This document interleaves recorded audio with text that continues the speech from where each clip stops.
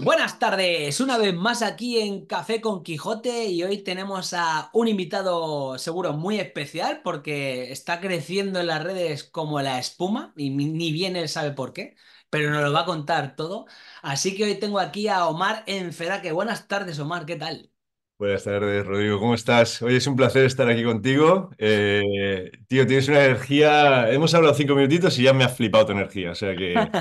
Oye, me, me alegro, me alegro porque yo, la verdad es que este formato a mí me encanta porque me encanta hablar y sobre todo conoceros a vosotros y aprender, porque yo estoy aquí para aprender del, del invitado que es el estrella. Así que un placer Estamos, tenerte a ti. sí, estamos todos en el camino de aprendizaje constante. Total. Pues oye, mira, mi gran primera pregunta que hago yo siempre a todos mis invitados es porque ¿quién era Omar, ¿vale? Antes del punto donde estás ahora mismo. ¿De dónde viene Omar? Eh, buena pregunta. Eh, yo he venido, vengo del mundo empresarial, ¿Vale? eh, curiosamente. Eh, soy economista. Economista. Soy economista. Yo soy economista. Estudié, econo- bueno, estudié administración de empresa eh, de ¿Vale? jovencito. Eh, empecé por un tema familiar, empecé a mover tema de empresa. A los 20 años monté mi primera empresa, la cerré, me fui a vivir a Londres, volví, me metí en el tema de la publicidad. Eh, al ver el mundo de la publicidad desde el lado del cliente, después me metí en el mundo de, de las agencias de representación de, de modelos y actores y demás. Creé, sí, creé empresa, una empresa bastante reconocida en el mundo de la moda que ahora lleva mi, eh, mi, mi socio eh, Joan, eh, que ha hecho y está haciendo un gran trabajo. Yo estoy fuera del mundo de la moda ya. Eh, hace tiempo que no dejé de, re- digamos, eh, dejé de sentir que tenía que seguir formando parte de ese, de ese mercado, no me llenaba. Y, y bueno, desde el mundo de la empresa, pues eh, mi, mi crecimiento, ya sea a nivel personal, ya sea a nivel eh, familiar, eh, ya sea a nivel, eh, ¿cómo te diría? ¿Cómo te diría? Este crecimiento de vida que todos estamos buscando constantemente, me llevó a, conectarme con personas que también estaban buscando ese crecimiento. Y, eso se derivó en, en un camino muy bonito que estoy viviendo ahora, que es el camino de, del, del compartir, que ya hice en el pasado, porque en el pasado trabajé en televisión, tuve un programa de televisión en 25 Televisión, una, una cadena muy chiquitita de aquí, ¿Vale? y siempre la parte de comunicación me ha gustado. Pero pasé una época muy compleja a nivel, a nivel de, de exposición, a nivel de, de no querer hacer pública, digamos, mi vida o mi persona, porque me quemé bastante. Eh, todos pasamos por épocas. eh, y ahora, desde hace, hace un tiempo, con mi relación tanto con, con Uri, eh, con el podcast, eh, con marca personal, bueno, ya estás viendo, está pasando un poquito una locura en mi marca personal que no me esperaba, que ahora explicaremos o hablaremos un poquito más Sí. de, de qué hay detrás. Pero, pero básicamente soy una persona que me ha gustado mucho experimentar empíricamente con todo lo que hago, ¿Vale? disfrutar, disfrutar de lo que, de lo que la vida me traía en ese momento. Acostumbro a decir que no a muchas cosas, pero acostumbro a decir que sí a la vida muchas veces. Y todo aquello que me implique un, un crecimiento, un aprendizaje y una incomodidad, seguramente, seguramente sea la parte que más me ha hecho crecer, la incomodidad. Eh, en ese campo digo que sí. Y, y me meto de cabeza y veo a ver qué hay detrás. Y si me ensucio, pues ya me, ya me ducharé luego. Pero, pero al final soy un eh, me gusta experimentar con la vida y, y jugar con ella. Ostras, Omar, me acabo de quedar alucinando. O sea, tengo tantas preguntas en la cabeza que yo no sé si nos va a dar la mañana. Vale, dale, vamos a probar a ver si... No, no, a ver, yo, yo siempre me gusta mucho, o sea, ya por, por todo lo que me estás contando, ya veo que eres una persona curiosa por naturaleza. Entonces sí que me interesa saber un poco cómo es meterte de repente, serías ya muy inquieto de repente meterte en empresa, de la empresa, que me da igual un poco lo que sea, pero vivir ese mundo de la empresa, a luego de repente vivir el mundo de la moda y a luego Mm. la publicidad. Entonces, me interesa saber eso para ir hasta supongo que sería el momento que has dicho de Sí. explotar y decir y reencontrarte a ti mismo y cómo lo hiciste. Entonces, me gustaría que fueras ahí un poco empresa, ¿por qué no te gusta publicidad o moda? Que a mí la moda me encanta también. ¿Cómo, Mm. cómo es todo ese proceso, Marc? Es un proceso yo siempre he dicho el, el ser, el ser humano, eh, tenemos la suerte de, cambiar constantemente. Vivimos en una evolución constante. Eh, y normalmente jugamos el error de mantenernos en una versión nuestra muy fija, pensando que lo que hemos sido o con aquello que lo- con lo que nos sentimos cómodos es de la forma en la que tenemos que seguir viviendo eh, de ahora en adelante, ¿no? Creamos una comodidad em, gracias a la, a la repetición y a sentirnos cómodos aunque no seamos felices. La comodidad no, no va, no va mano a mano con la felicidad o el bienestar. Entonces, em, en mi caso, por un tema familiar, por un tema eh, de, de búsqueda, eh, el mundo de la empresa fue una primera referencia que encontré para evolucionar, tener contacto con, con personas, eh, crecer un proyecto eh, y ponérmelo, como te decía antes, en situaciones muy complejas, ¿no? Porque cuando yo empecé a los 20 años, hace, tengo 40, voy a hacer 41 en dos días, hace 20 años, yo iba puerta fría con mi traje, porque claro, si no iba en traje, no me abría la puerta ni Dios. Eh, la mayoría de CEOs de empresas o directivos de empresas tenían 60 años claro, eh, o 50 para arriba, y un niñato de, 10 y- de 19, 20 años o 21, pues, bueno, eh, ¿a qué me vas a vender, no tú? claro. Entonces, eh, a- aprendí muchísimo a leer a las personas, a leer empáticamente lo que había detrás, y eso me ayudó mucho en el, en el recorrido de vida, ¿no? Cuando hacía una reunión, pues miraba, hostia, este tío es del Barça, o este tío le gustan los perros, o este tío tal. Intentaba, pues, navegar la persona que tenía delante e intentar crear un vínculo no era tanto vender, sino era crear un vínculo. Y eso me, me llevó a una experimentación muy bonita donde eh, busqué ganar esa conexión lo más honesta posible en el mayor tiempo posible. Eh, de ahí salté cuando primero tuve una empresa de ingeniería informática, o sea, una ida de olla que flipas. Mi Hace, socio, hace 20 años. Hace 20 años, tío, era una, una liada, una liada, porque yo vendía RPs, eh, hacía mm, ajuste- ajustes técnicos sobre CRMs y RPs. Un- ahora, o sea, no quiero ni oír hablar de eso. Es un, un caos, tío, un caos. Eh, pero de ahí, de ahí pasé a publicidad, bueno, cerré la empresa, que eso fue una, fue una liada y un aprendizaje muy grande. Yo siempre digo que es, es más importante aprender a cerrar una empresa casi que abrirla porque te Ah, pasa de... tienes que cerrar muchos agujeros, ¿no? Antes de cerrar. Es un, es un, es, es un lío. Eh, porque ya no tienes la ilusión del momento. Cuando tú creas una empresa, tú tienes el empuje de la ilusión. Claro. Cuando tú cierras una empresa, tú tienes eh, la frustración del cierre, tú tienes todos los pensamientos de mierda eh, negativos, pensando, pero ¿qué he hecho? Eh, no soy lo suficientemente bueno. Y encima tienes que cerrar la empresa. O sea, tienes que hacer temas burocráticos, papeleos y demás, ¿no? Entonces, a ese nivel, después me metí en el, mundo de la moda, bueno, mediante terceras personas y demás. Creé una agencia de modelos bastante reconocida.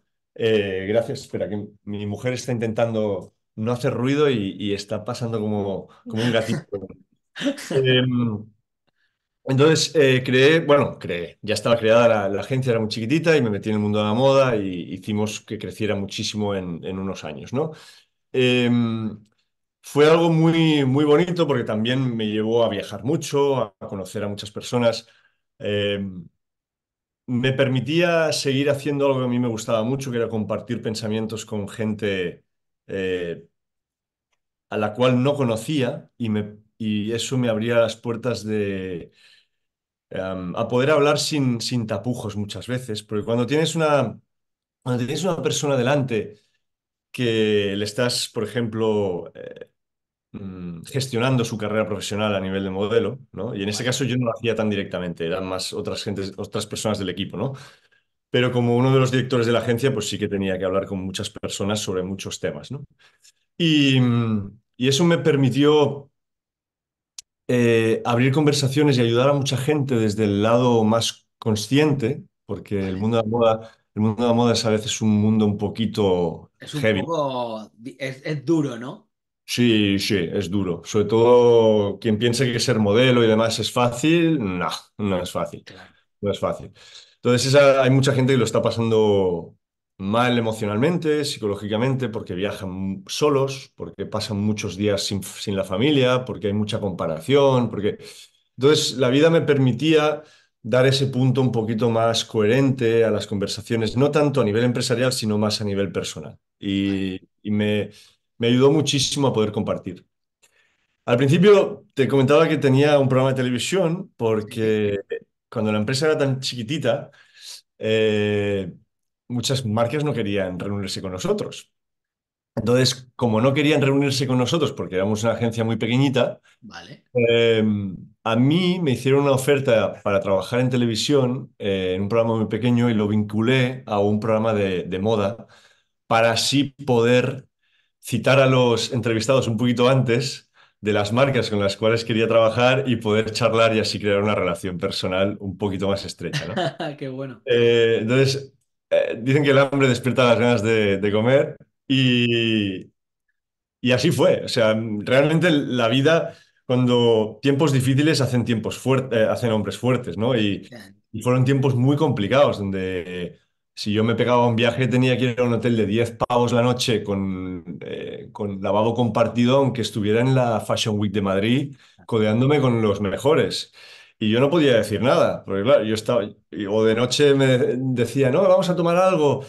Eh, sí, no, voy a, me voy a ir al hotel, al hotel, no sé qué, ¿dónde estás? No, no, no, ya me voy yo por ahí. Claro, no podía decir me estoy quedando en un, un sitio de 10 pavos la noche, ¿sabes? Me podría haberlo dicho, pero en aquella época yo era un poquito menos, eh, seguro, menos experimentado y, y no, bueno, no sabía salir de ciertas situaciones aún. Eh, y nada, ese, ese es mi, bueno, aparte a nivel familiar también otros temas, líos de empresas y tal, que también me he metido por ahí. Y ahora ya estoy en un momento donde me apetece un cambio, eh, lo que te decía, esa evolución constante del ser humano. Creo que cada ciertos años cambiamos y ahora estoy en un cambio muy potente donde acepto lo que me está trayendo la vida, acepto este, este boom a nivel, yo digo siempre una frase, cuando tú no cambias, la vida lo cambiará por ti. Y hay veces donde la vida te está mandando le- señales constantemente. La infelicidad o, el, o la falta de bienestar es una señal de que hay algo que no está yendo por el camino y en los últimos años he tenido varias fases de, de infelicidad a nivel profesional.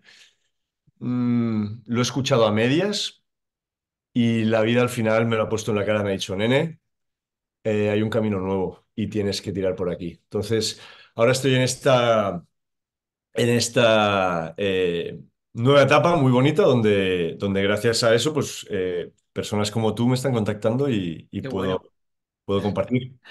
Qué bueno, Omar, me encanta. Y un un- tú has contado que has tenido etapas de infelicidad. ¿Y cuál fue un poco el momento de reflexión, más allá de la crisis de los 40, ¿no? Que, que se dice, ¿eh? Que dijiste, ostras, porque también estás hablando mucho de que hay a veces que la incomo- que la zona de confort, te gusta mucho salir de la zona de confort y Mm. decir, buscar cosas nuevas. ¿En qué momento dijiste, ostras, por- porque has dicho antes que acabaste un poco quemado por la exposición? Sí, ¿Y, y cómo, cómo afrontaste eso? Porque ahora eh, vas a volver a caer en ese, en ese foco. Entonces es sí, un poco, pero ya no eres el mismo. Entonces, ¿qué, aprendiste? Mira, para mí el cambio más grande de mi vida ha sido ser papá. Eh, para mí, yo fui papá en, eh, justo antes del COVID y el COVID lo viví en, en casa con mi hijo. Fue la época más dura y más bonita de mi vida porque em, de repente eres algo para lo cual, para lo que no estás preparado aún. Entonces, esa, esa situación que te pone la vida delante te permite evolucionar en, formas y maneras que nunca habías pensado evolucionarías. Eh, en ese momento me di cuenta de que mi vida había hecho un cambio de, de niño a hombre por un motivo, porque mm, aprendí a dejar de esperar el recibir y aprendí a disfrutar el dar sin esperar nada a cambio. Y ese cambio de, de mentalidad me focalizó mucho a nivel moral en querer crecer como persona para ser un ejemplo y dejar, digamos, ni tan siquiera un legado, pero sí que acompañar a mi hijo desde un lugar donde yo fuera una versión muy bonita de mí, o donde, donde yo me sintiera muy cómodo como padre, como hombre, como marido, como lo que fuera. Para mí el impasse principal fue, fue ser papá, eh, en ese sentido. Mm. Qué bueno. Claro, pero es lo que dices tú, ¿no? Eh, ahí en el COVID, que bueno, la verdad, pudiste disfrutar de, de la paternidad total. Sí, fue, fue raro, tío, porque yo soy una persona que siempre está fuera. Fue, fue duro también por el sentido de, o sea, fue muy bonito porque pasé muchas horas con él, fue muy duro por, por todo el pollo que se montó y porque yo tenía formas de pensar muy distintas a lo que se estaba diciendo y demás. Eh, y porque a mí me encanta salir a la montaña a caminar y no podía. Y, y me hubiese encantado pues pasar más tiempo en el parque con mi hijo. pas- Tengo la suerte de tener una, un pisito casita aquí en el pueblo y tengo una terraza arriba y, y estábamos al sol y entrenando, cosa que no me quejo. Pero sí que fue, de repente, eh, yo trabajo mucho por frac- fractalidades o analogías mentales, ¿no? Y para mí el COVID fue como una fractalidad de lo que estaba sintiendo en mi vida también. Me sentía un poquito atrapado en el mundo en el cual, en el mundo que yo había creado. O sea, ese mundo de empresa, ese, ese mundo de, de, de tener pues, un equipo, de, de gestionar ciertas cosas, hacía que mi ser a veces se sintiera un poquito atrapado. Y el COVID me hizo ver eso en la cara. O sea, me, me dio un- me dio una torta bien gorda.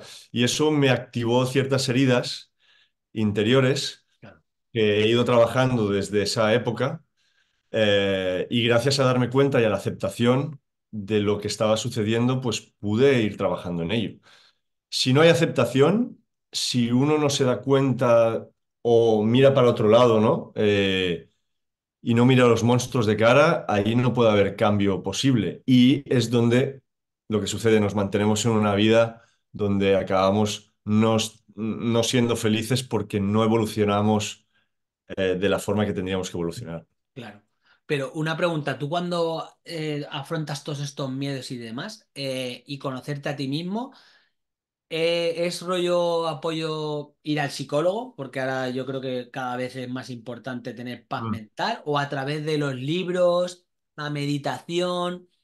Porque es importante, yo siempre recomiendo o pido recomendaciones de libros que digas, ostras, este libro me encantó, o esta meditación, o algo. Entonces sí que me gusta saber cómo afrontaste tus miedos. Lo afronté, lo afronté estando cómodo en la, escu- en la oscuridad. Es decir, llegó un momento donde, donde acepté esa oscuridad. ¿Sabes esos días que te levantas y sin saber por qué caes en un hoyo? Y dices, pero si ayer yo estaba, o la semana pasada yo estaba bien, ¿qué coño estoy haciendo aquí? O sea, ¿por qué? No hay ni escalera para subir. Me siento hoy que eso lo despertó muchísimo el COVID en mucha gente, ese hoyo, ese, de repente ese vacío, esa falta de propósito en la vida, esa falta de, de conexión con las personas, porque de repente dejamos de abrazarnos los unos a los otros. Qué analogía más potente, ¿no? claro.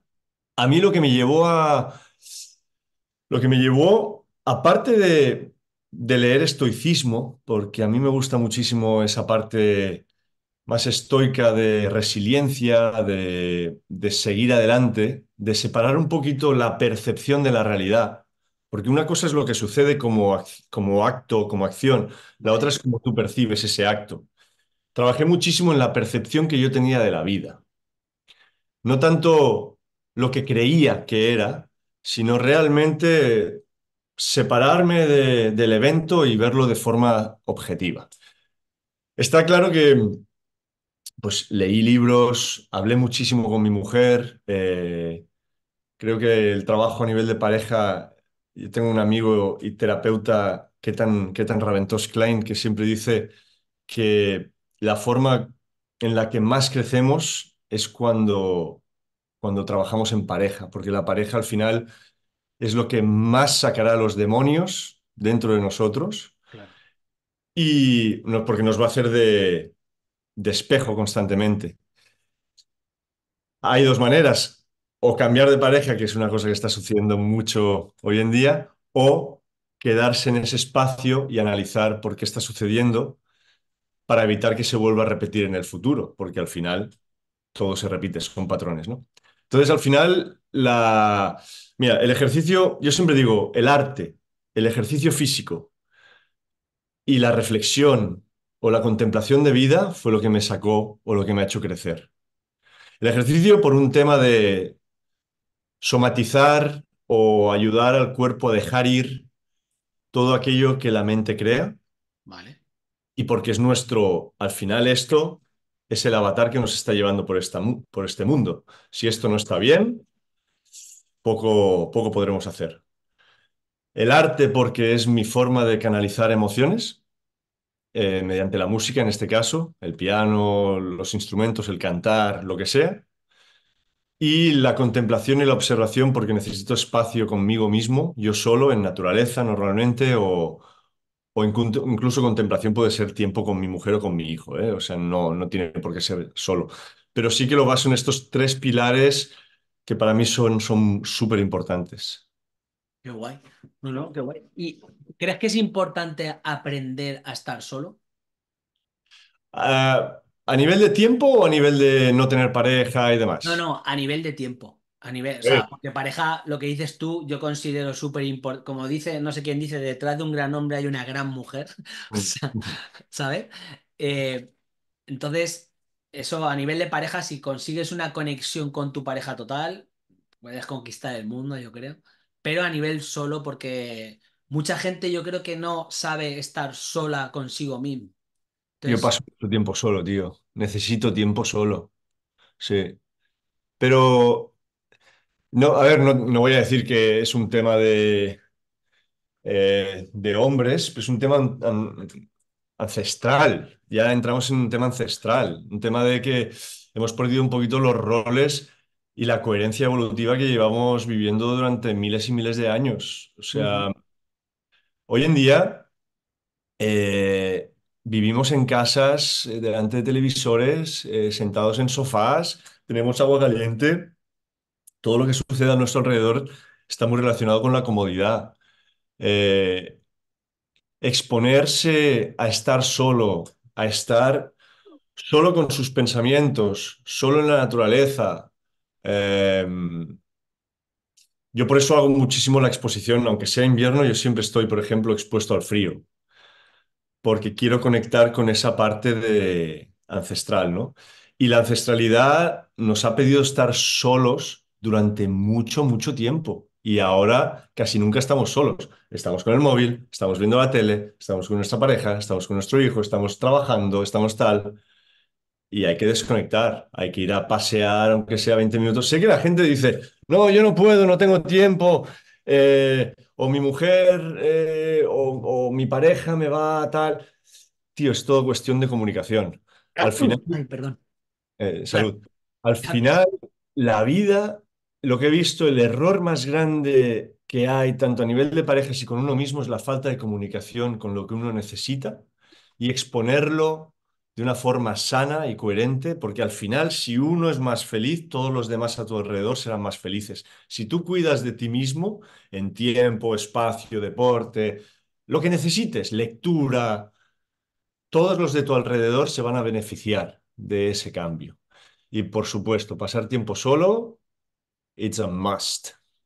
Mm. Claro, fíjate el concepto que estás aquí, que yo creo que es súper importante, porque yo creo que a día de hoy eso la gente lo atribuye como que eres un egoísta. ¿no? Cuando tú tienes, dices, no es que necesito mi tiempo, mi espacio, mi lectura, mi viaje, mi tal, hay gente que dice, ostras, qué, qué egoísta. Y en realidad es a lo mejor lo que acabas de decir, buscar estar bien para que todo tu entorno esté mucho mejor. Eso, eso me lo enseñó mucho mi mujer. Eh, al principio, uno de esos espejos que me despertaba a ella, uno de esos, de esos gatillos, era cuando, por ejemplo, íbamos a un domingo, ¿no? Mi madre nos invitaba a comer. Y ella me decía, pues no voy a ir. Y yo, hostia, ¿por, ¿por qué? No, me da la sensación que mi cuerpo me pide descanso hoy. Y claro, yo me cabreaba in- internamente, decía, "Mi- mierda. Yo ya había hecho mi plan mental de que tú vendrías a comer a casa de mi madre, con nuestro hijo, tal, ¿no?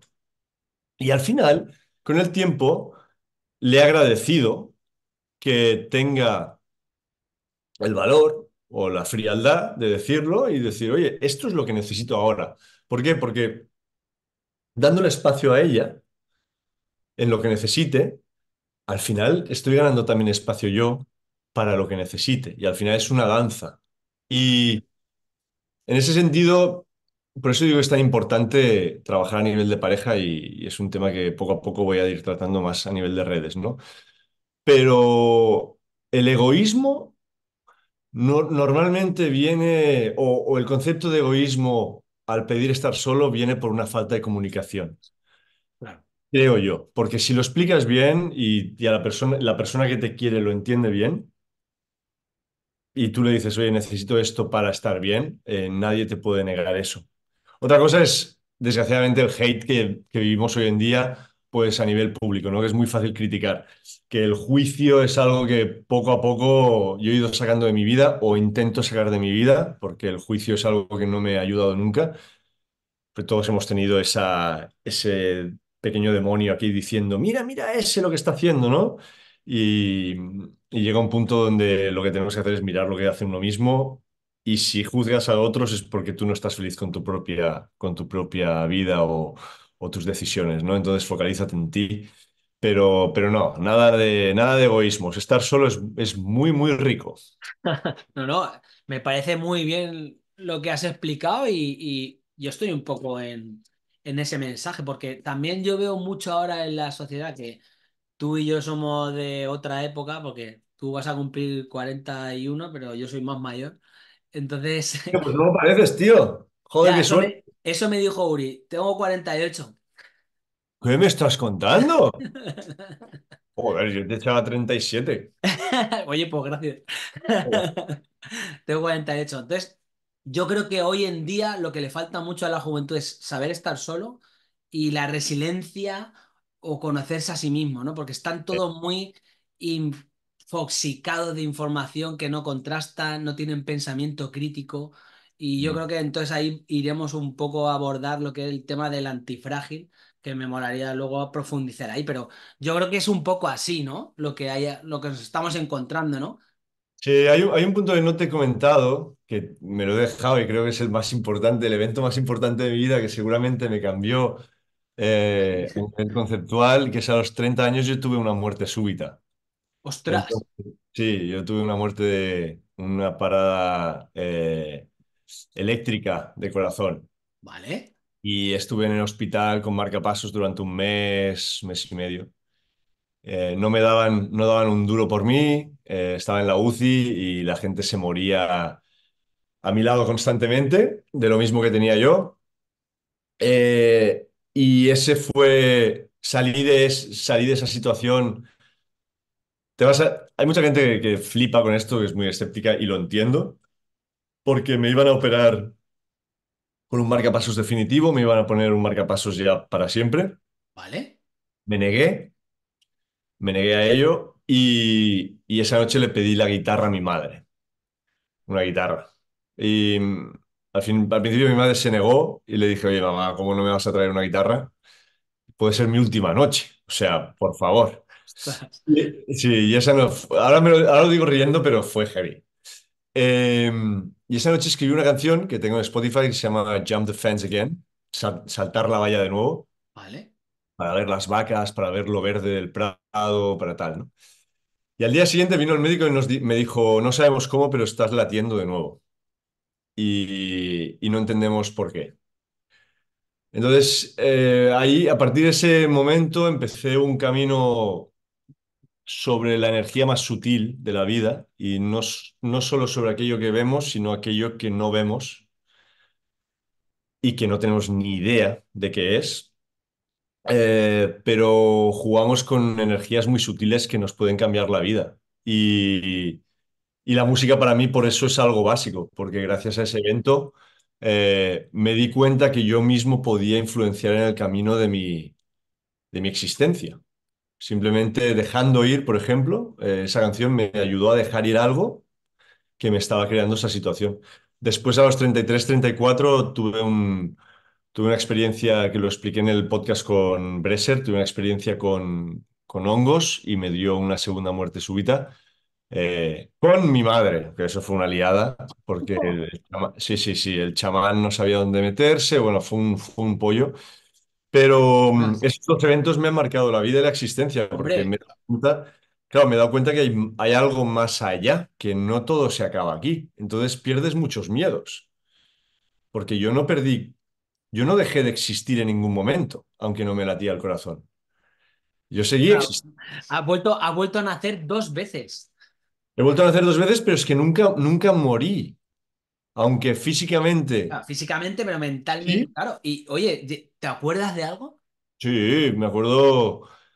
Sobre todo de la segunda situación, me acuerdo de estar en la misma habitación, me acuerdo de que todas las personas que me rodeaban, en este caso mi mujer, mi madre y el chamán, desaparecieron y solo había como 10, 12 luces verticales delante mío y yo estaba sentado en el mismo sofá, pero observando una vida como en otro lugar, como si hubiese cogido un ascensor y me hubiese ido un, pi- un piso más arriba.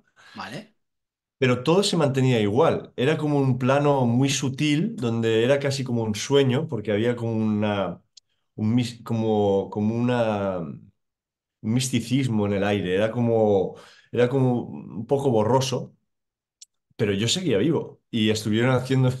Bueno, eh, yo, claro, mi corazón paró. Estuve como tres minutos que me ponían la mano y no, y no, no había latido. O tres minutos y medio. madre Y mía. luego volví. Luego es- empecé a escuchar gritos, volví y dije, ¿qué ha pasado? ¿Dónde he ido? Y, y, tío, la vida, la vida tiene otro sabor, ¿eh? Después de eso. Hombre, la, la vives mucho más.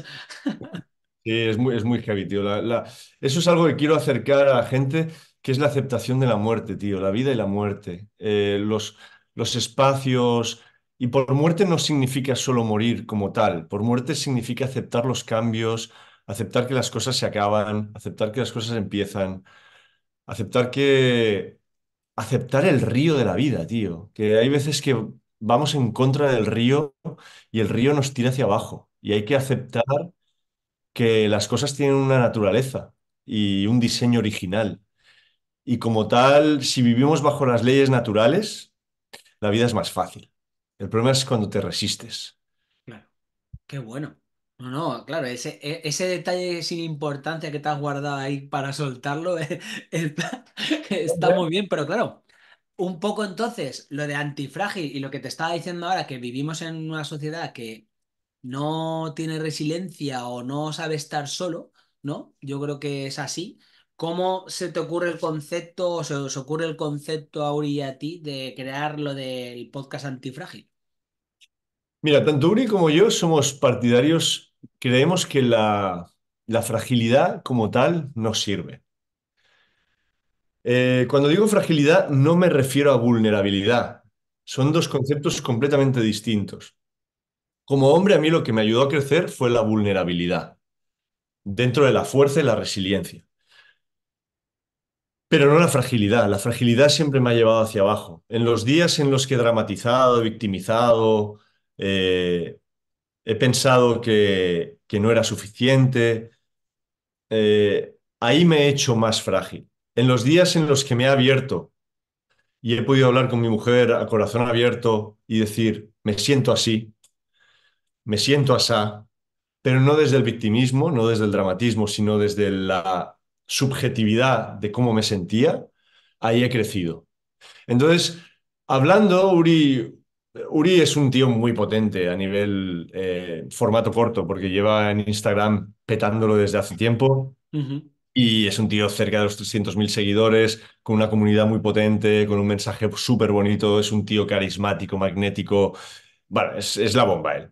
Y, y somos colegas de, porque compartimos el mismo estilo de vida, y un día hablando dijimos, hostia, sí llevamos esto a un formato largo, tío.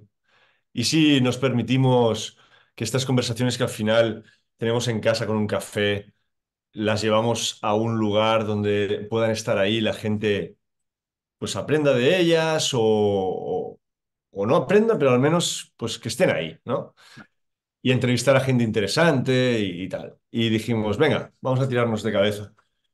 Y ese conce- concepto antifrágil lo que estamos haciendo es traer a gente que nos permite ver la vida desde fuera del dogma eh, nos permite ver la vida desde una perspectiva distinta a la que nos han contado, que nos permiten ver la vida desde la antifragilidad, porque son gente que se han hecho a sí mismos o han ido en contra de lo que la sociedad decía muchas veces, ¿no? Por eso traemos gente como eh, pues Elma Roura, una, para mí la sexóloga más potente a nivel de España eh, y tema tántrico, eh, Phil Hugo, que lo subimos el otro día, Christian Bresser, estamos hablando con empresarios muy potentes como Pau Antó, pero ¿cuál es el, el denominador común? Pues que han tenido unas pelotas así para salir de la del dogma, de lo que les habían dicho que su vida tenía que ser, ¿no? Pues trabajar de 9 a 5, vivir de esta manera, comer esta mierda de comida, eh, tal. Entonces, eh, pues ese, ese es el, un poquito el, el mensaje, ¿no? Detrás de Antifrágil y por eso lo estamos, lo estamos potenciando y lanzando.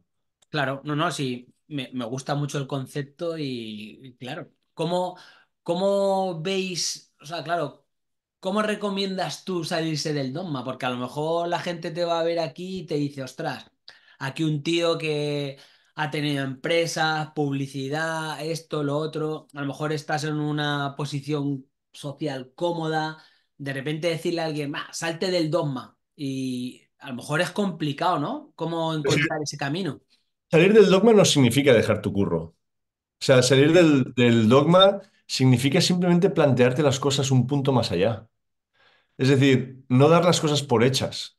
Mi padre me decía siempre de chiquitito, eh, de lo que veas, no, de lo que oigas no te creas nada y de lo que veas la mitad. Porque al final la vida se basa en perspectivas. Es, co- es como, la vida es como una holografía. Al final nosotros creamos mentalmente la realidad que queremos ver. Y, esa realidad puede ser más chiquitita o más grande, más expansiva o, o menos expansiva, entrópica o sintrópica, dependiendo de cómo nosotros queramos verla. Tú puedes estar haciendo 1.500 euros al mes, eh, vivir en un pisito pequeño, tener una vida súper modesta y estar fuera del dogma, porque al final lo que te hace libre no es lo que tienes, es lo que hay aquí dentro y es la perspectiva. A mí... Yo he escapado de, de- del dinero durante muchos años. Yo no, no, no, no he vivido bajo la, la- la búsqueda del dinero como tal. Es más, inconsciente y conscientemente he buscado la constante incomodidad. Eh, porque al final la incomodidad, repito, es lo que llevamos haciendo miles y miles de años teniendo que ir a cazar por la mañana porque no teníamos comida y teníamos que ir a buscar comida, o teníamos que ir al río que estaba a 10 kilómetros del poblado, o teníamos que... ¿Y eso dónde está ahora? Eso ya no existe. Yo lo que me refiero es salir del dogma es simplemente plantearse las cosas desde otra perspectiva y no dejar que aquello que te cuentan sea tu realidad o que aquello que incluso ves sea tu realidad. No, no, no te lo creas, demuéstratelo. Por eso la gente cuando les digo, eh, me dicen, no, hombre, es que yo no puedo, claro, tú haces esos ejer- ejercicios, pero es que yo no puedo hacerlos. Sí, por eso subo ejercicios, porque la vida es, yo defiendo mucho la progresión en la vida, la asistencia de la vida. Yo puedo hacer una dominada si la puedo hacer sin, sin asistencia, pues la haré. Pero si tengo que poner los pies en el suelo, como en muchos de mis ejercicios eh, demuestro, de forma efectiva es casi lo mismo. Porque al, al final hay una adaptabilidad constante al medio como seres humanos. Y lo único que tenemos que hacer es moldear esa realidad para poco a poco ir creyéndonos más soberanos de nuestra vida. Porque nos van contando desde chiquititos, mira, hay una frase que dice eh, Jesús Sierra que me flipó el otro día escuchando un podcast con Pedro Vivar que decía, en la escuela nos dicen que todas las preguntas tienen que ser respondidas y es mentira. Cuando te hacen una pregunta, no tienes por qué responder, pero te han dicho que sí que lo tienes que hacer, pero estás en tu derecho de no hacerlo. Igual que si vivimos en una sociedad que obedece constantemente, ¿no? Que no estoy diciendo que, que obedecer sea malo, y yo soy padre y a veces me vuelvo loco porque mi hijo no me obedece, pero cuando no me obedece, hay algo dentro de mí que dice, vale, mantiene su, su soberanía. Hay algo dentro de mí que me dice, "Bi- bien, mantiene un pequeño rebelde que se tiene que mantener ahí, ¿sabes? Claro. Entonces, esa rebeldía es lo que le digo a la gente, traed un poquito de rebeldía de niño pequeño y preguntaros más las cosas. Claro, pero es, es un poco lo que te estaba diciendo yo antes también, que yo creo que estamos en una sociedad muy aborregada y con cero pensamiento crítico. Pero O sea, se, se ha se ha perdido. Yo me acuerdo cuando querían quitar la, filosofía de los institutos o la querían quitar créditos y tal. Y Digo, pero ¿cómo quitáis esto si la gente no va a pensar por sí misma? sí, la filosofía es básica, tío. Es algo que a mí me ha flipado desde chiquitito y esa- el pensamiento crítico es, es, es clave para la evolución. Lo que nos diferencia de los animales es eso. Si al final la única diferencia que hay un mono es más fuerte que nosotros, o sea, un gorila es más fuerte que nosotros, un león es más fuerte que nosotros. Nos- nosotros no estamos en la cúspide eh, o en la pirámide, en la parte de arriba de la pirámide por nuestro físico, estamos por nuestra mente. Al final somos una sociedad donde, coño, nuestro mayor poder no lo estamos usando o lo estamos usando a medias porque estamos, estamos creyéndonos todo aquello que nos han dicho y, y no, no es así, tío. Eh, no es así. Ah, Y pero te- una pregunta que se me acaba de ocurrir un poco. De los entrevistados que estáis teniendo y demás, ¿ponéis en, o sea, eh, pensáis a, a fe ciega lo que dicen o también le ponéis ese punto de... "Mm, Mira, nosotros eh, lo bonito es que traemos a gente muy distinta, ¿no? Hay gente que, aunque todos salen de esa norma, no siempre estamos de acuerdo con, Vale. con todo lo que dicen. Creo que sería... Lo que sí que damos es la, la oportunidad de escuchar a todo el mundo Pero claro, in- individualmente, tanto Uri como yo, como la- el resto del equipo, cuando estamos ahí en directo escuchando a una persona hablar, pues hay cosas que sí y hay cosas que pues nosotros no, ¿no? Por ejemplo, David Duarte, que lo está petando el podcast, que así tenemos doscientos 200.000 ya Sí. eh, visualizaciones. Eh, él habla de la dieta Unani. Eh, yo, por ejemplo, sigo una parte de, de Duarte muy estricta sobre la sal, eh, el uso de la sal en el agua y el no Vale. quitar porción de minerales dentro de mi dieta. Me va muy bien, pero él dice que el ser humano tendría que comer una vez cada siete días. Una vez cada siete días. Sí, de tres a siete días, porque nuestro estómago es así de grande y lo que metemos aquí nos tendría que durar el tiempo suficiente para, para poder ir a cazar de nuevo y volver a traer comida para volver a rellenar esto. Claro, eso es una forma muy, eh, ¿cómo te diría? Eh, catabólica de vivir una vida. Eh, para mí, yo, ahora mismo estoy en una posición muy, mucho más anabólica a nivel de crecimiento y expansión. Pues tengo que, quiero yo traer esa abundancia también a nivel de comida a mi vida, porque es un mensaje, es una manifestación para mí, igual que manifiesto, manifiesto cada día en mi libreta, que es un punto muy importante para mí, los cinco o seis puntos que quiero conseguir en este periodo. Ujú. Él le mando mensajes a mi cuerpo consumiendo una, una nutrición óptima para expansión y no consumiendo mierda a nivel de televisión y otras cosas que al final también es comida, ¿no? Eh, pero, por ejemplo, de este, de este entrevistado, pues hay una parte que nosotros lo flipamos con lo que dice porque no decimos que no sea cierto, que al, al final hay muchas, hay muchas posibilidades, pero no es lo que nosotros escogeríamos ahora mismo. Igual cuando yo tenga 60 años, pues digo, vale, quiero bajar 10 kilos, quiero ser un yogi, quiero estar sano, porque realmente es un protocolo que te permite, al no tener hidratos de carbono, al no tener nada, te permite una autofagia casi constante del cuerpo y una regeneración eh, brutal, pero ahora mismo no me sirve. No, pero eh, está, está guay que tengáis posiciones encontradas con los invitados y que haya debate constructivo para aprender, ¿no? Que es, que es lo que, que es lo que Sí, mola. nosotros al final tam- intentamos, también lo que, lo que hemos buscado, y se lo pedí a Uri, le dije, mira, Uri, yo haré el podcast siempre y cuando no, las, las, las preguntas no sean mecánicas o muy eh, enfocadas a un tema de éxito, dinero y tal, porque a mí lo que me interesa es lo que hay detrás de la persona, ¿no? Entonces, si a mí una persona me viene a una, a una entrevista, un tío que ha hecho 100 millones de euros, pues yo le preguntaré, ¿qué has tenido, qué has perdido para conseguir eso? Porque todos, todos somos seres humanos y sabemos que la vida se- es polaridad pura. ¿Qué has perdido? ¿Qué has tenido que dejar ir para tener esto?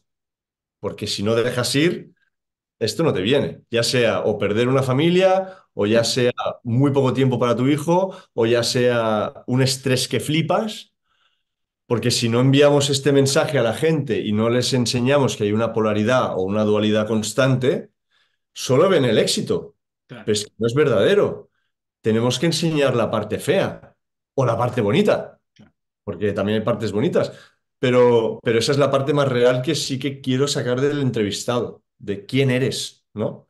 Pre- pre- Precisamente lo que hago aquí en un café con Quijote, porque a, a mí lo que me interesa es quién es Omar, o quién es Uri, o quién es tal, no que tenga 100.000 seguidores o que esté reventando su podcast, sino de dónde viene y, y todo lo que, justamente todo lo que has explicado aquí, que, que está genial, porque es, es una forma de aprender, ¿no? Porque es lo que dices tú, la gente está acostumbrada a ver eh, a la persona arriba pero no, no, no se para a pensar en lo que le ha costado a esa persona llegar ahí y lo que se ha dejado en el camino. Sí, sí. Es, es duro, tío. El, el- es, es... Mira, hay, el- entrevistamos el otro día, bueno, hace un par de días, a Alex Scott. Te recomiendo que lo, que lo sigas, aunque tiene, bueno, tiene un contenido efímero, eh, postea y lo borra. pero Vale. es un, es un psicólogo y terapeuta brutal, amigo mío, y dice, el gran problema de la vida es que la gente no acepta el precio que tiene que pagar en base a sus acciones. Si nosotros aceptáramos que todo lo que hacemos tiene un precio y una consecuencia, y fuéramos muy claros en que acepto esto, los problemas se van. Un ejemplo, un poquito extremo, cuando se sube a un avión, ¿no? Lo hablábamos el otro día. ¿Qué sensación tenemos muchos de nosotros al subirnos a un avión? La pérdida de control. Este avión se puede caer. ¡Hostias! Todos hemos entrado en un bucle alguna vez de decir, joder, quiero llegar a casa, o quiero ver a mi chica, o quiero ver a mi hijo, o, o simplemente quiero volver, no quiero que pase nada. Todos nos ha dado un poquito de ansiedad. Cuando tú aceptas que eso puede suceder y estás en paz con eso, es cuando te sientes libre.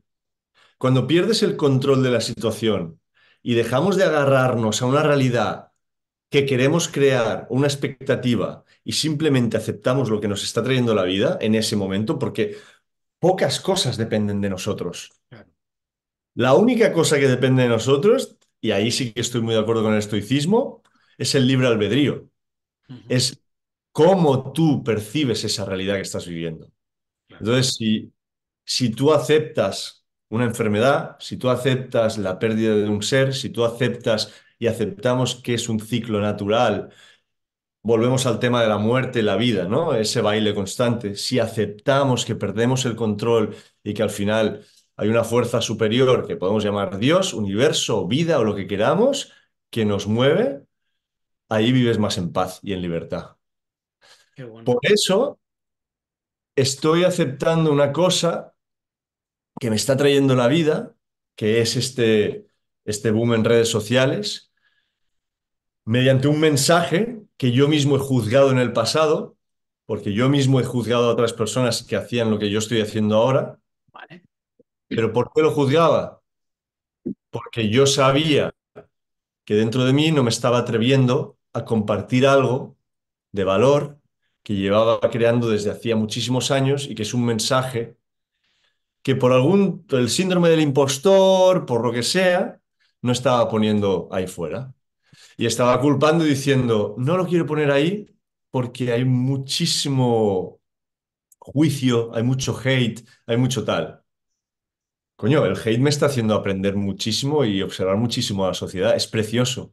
Pero con 40 años, yo lo que sí que no le recomiendo esta barbaridad que estoy viviendo, a los 20 no lo hubiese podido gestionar. A los lo que pasa 40, ahora mucho.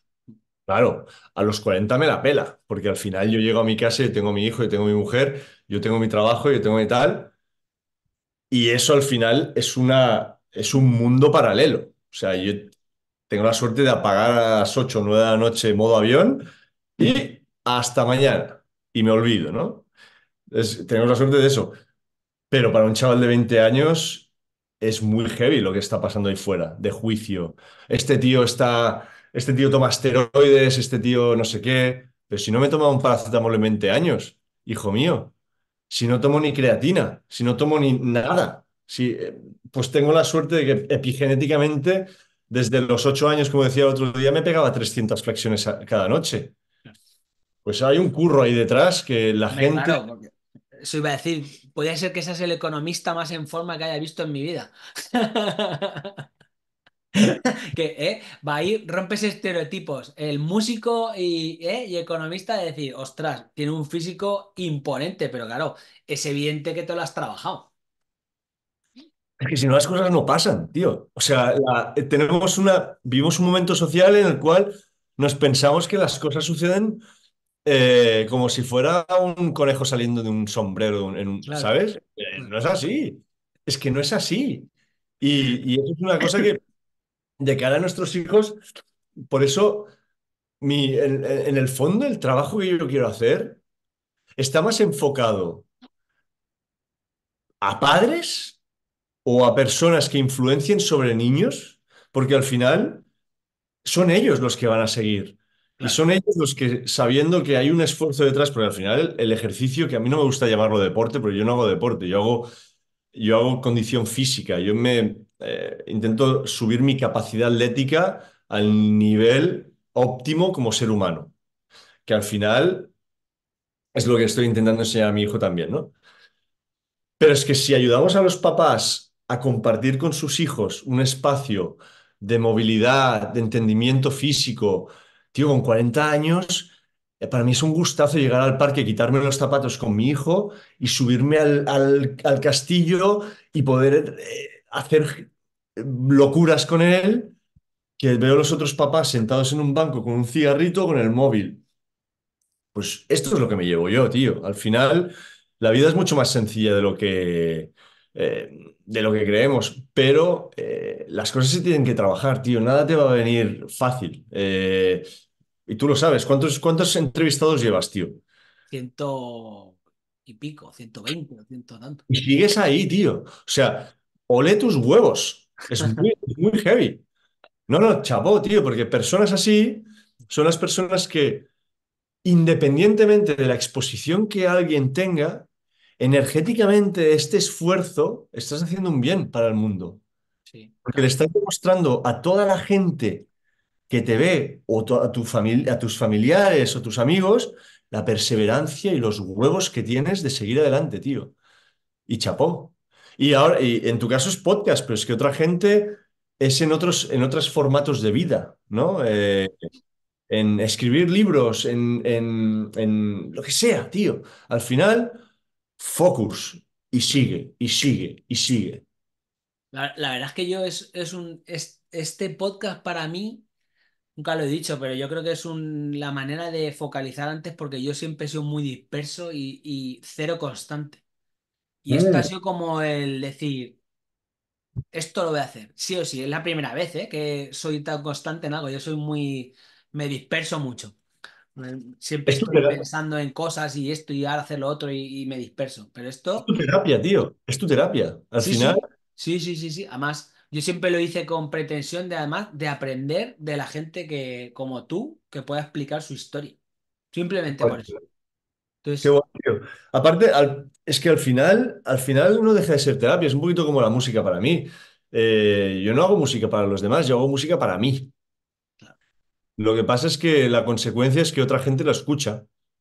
Pero yo no hago música pensando en esto le va a gustar a alguien. Yo hago música porque me han roto el corazón y he hecho una canción. O porque ha nacido mi hijo y le he dedicado una canción. O porque he visto a alguien morir o irse, un familiar, y le he hecho una canción a mi abuela. Y la pongo ahí fuera, pero es una autosanación personal, es un proceso mío. Lo que pasa es que como todos vivimos procesos emocionales constantemente, resonamos o, vibramos con el proceso de otra persona. ¿Por qué la gente me contacta a mí diciendo, tío, pero mucha, tío, eh, diciendo, gracias a tu música me he tranquilizado porque tenía pensamientos suicidas. Y gracias a esto, pero así, tío. ¿Qué pasa? Que en mi segundo disco, el de Épica, se llama Épica Porque yo necesitaba un momento de épica en mi vida, necesitaba salir de un agujero. Era la época del COVID y fue donde me dio un...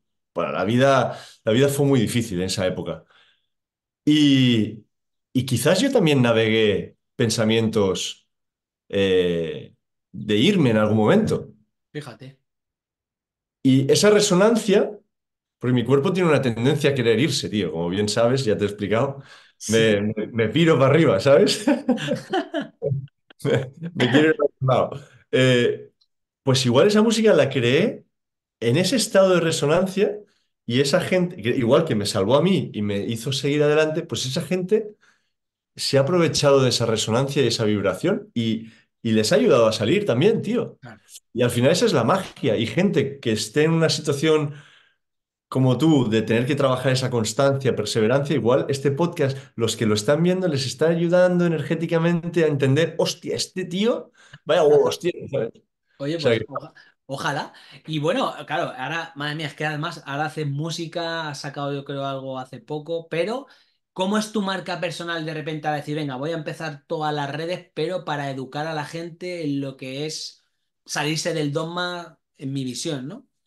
Eso lo ¿Cómo, cómo empecé, estás mira, explotando tu marca? Porque yo te he visto, te conocí a través de redes y ah, de momento yo lo vinculo a entrenamiento de acondicionamiento físico, pero yo creo que vas mucho, quieres ir mucho más allá, ¿no? Sí, en, en- en el pasado ya eh, lo basé. si mi- si- mira, yo no he borrado mi historial de Instagram. O sea, Vale, podéis ver quién era Omar hace 10 años.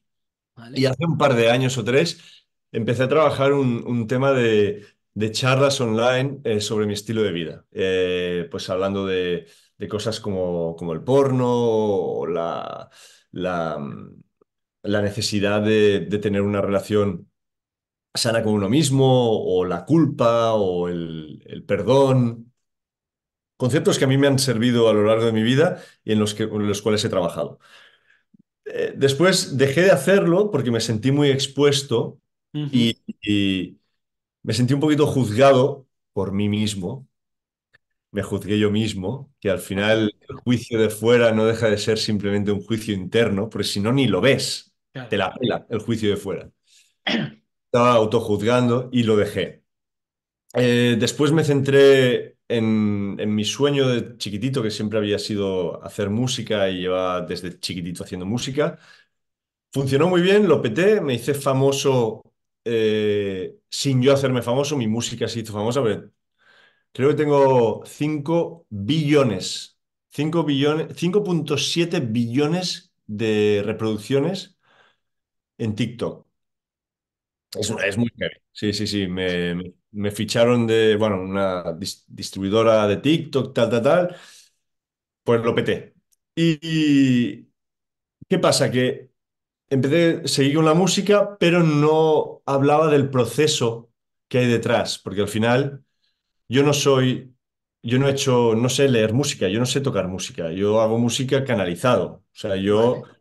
Yo- son muchos años de patrones creados y, y he creado mi estilo de hacer música, igual que he creado mi estilo de entrenar. Yo no sé, yo no he hecho ningún curso de entrenamiento, ni soy entrenador personal, ni nada.